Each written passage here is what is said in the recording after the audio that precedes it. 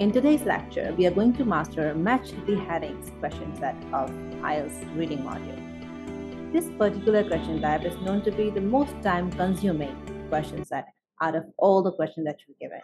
So today we are going to learn a step-by-step process about how to tackle this question type in the most efficient way and with the maximum accuracy possible. Before we begin, you must remember that you should always attempt match the headings question set before any other question for the particular passage. Because when you attempt match the headings, you have to read almost every paragraph more than once in order to get all the questions of match the headings right, which helps you later when you are doing the next question sets. Because you don't have to reread the passage and you already know where to find the answers. With that out of the way, let's start with step number one. The first thing we do is to read the question and figure out which of the paragraphs are we supposed to title.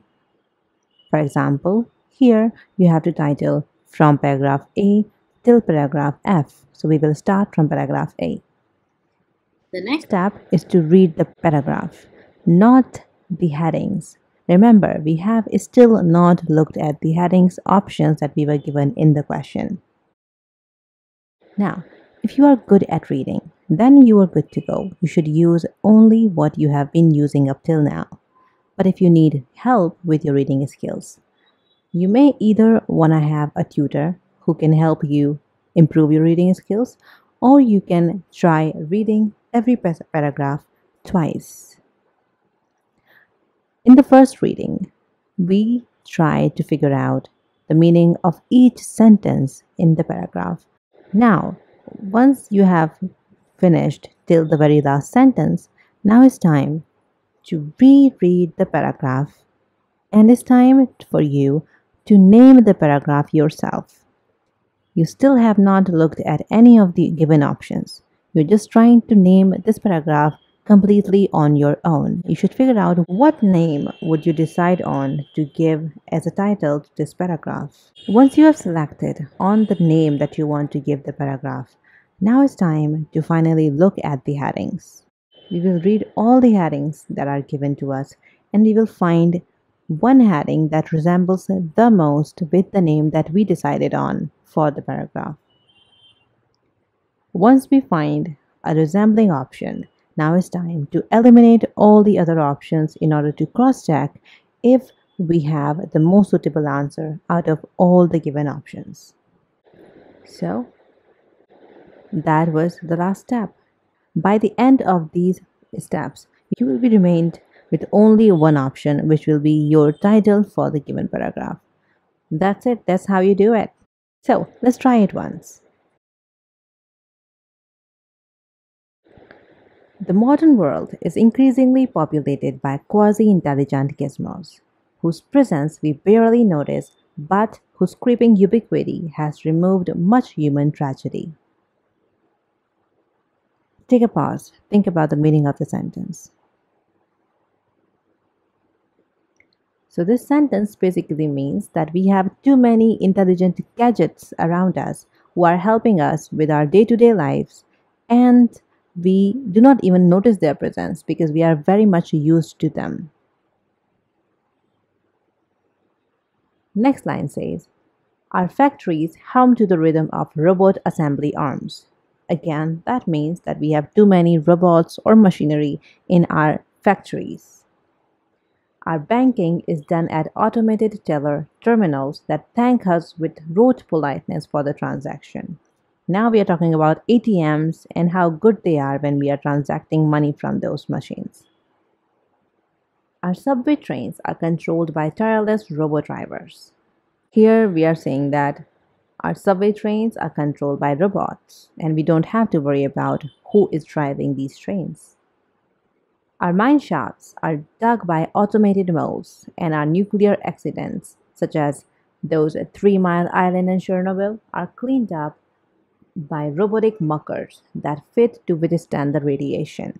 This sentence simply means before humans used to do this work in mines and radiations were harmful to them, which is now out of the question because machines are doing this work now and machines are not affected by the radiation. So it's a good news. Such is the scope of uses envisioned by Karel Čapek, the Czech playwright who coined the term robot in 1920. The word robota means forced labor in Czech. This term robot was envisioned by Karel Čapek. We also know the meaning of robot that is forced labor. Lastly, as the progress accelerates, the experimental becomes exploitable at record pace. That means that with time, we will be using these machines and we will be exploiting their expertise more than ever. That's all. We have read this paragraph carefully once. Now it's time to reread it and try to find out a name for it. Our modern world is increasingly populated by quasi-intelligent gizmos who presents we barely notice but whose creeping ubiquity has removed much human tragedy. From there we can figure out too many gadgets in our day-to-day lives which we like, which are helpful to us. Now, our factories hum to the rhythm of robot assembly arms. Our banking is done at automated teller terminals that thank us with rote politeness for the transaction. Our subway trains are controlled by tireless robo drivers. Our mine shafts are dug by automated moles, and our nuclear accidents, such as those at Three Mile Island and Chernobyl, are cleaned up by robotic muckers fit to withstand radiation. All of these sentences were just an example of how we use machinery in our day to day life and how much helpful they are to us. Such as the scope envisioned by Karel Čapek. Here we have the name of, we have the origin of the name, robot, and with time we will be using machines even more. So, overall, the name that I want to draw for this particular paragraph would be uses of robots in our day to day life and the help we get from them. It's time to look at the headings. Number one, robots have quietly infiltrated our lives. Here, what the heading means is that robots have quietly entered into our lives and we do not notice them because they are helping us. They are not harmful to us. Human skills have been heightened with the help of robotics. We have not talked about any of the human skill in the paragraph, so it is safe to eliminate this one. There are some things we prefer brain to control. We did not talk about human brain in the passage, so it is safe to eliminate this one as well. Original predictions have been made. Yes, there is one prediction in the last line of this paragraph that is as the progress accelerates, the experimental becomes exploitable at record pace. Though it is only a prediction, it is not a revision of anything we said prior to this. So we can eliminate this one as well. If you don't understand why I eliminated heading number 4, reread the last line of the paragraph. Moving on, scientists are examining the humanistic possibilities. No, we did not talk about humanistic possibilities in robots yet. Sixth, there are judgments that robots cannot make. No, we did not talk about that as well. So we are only left with the heading number one that seems to be the most resembling option to the name that we figured out on our own. And it is only one that we are left with, so it is our answer. Yeah, so this is how you do it. Easy, right? Now it's time for you to try it on your own. Remember, you have to read this paragraph twice, once sentence by sentence, and the second time when you read it, you have to keep in mind that you are going to name the paragraph completely on your own. Then you will look at the headings, figure out which heading resembles with your name the most, and then eliminate the remainings.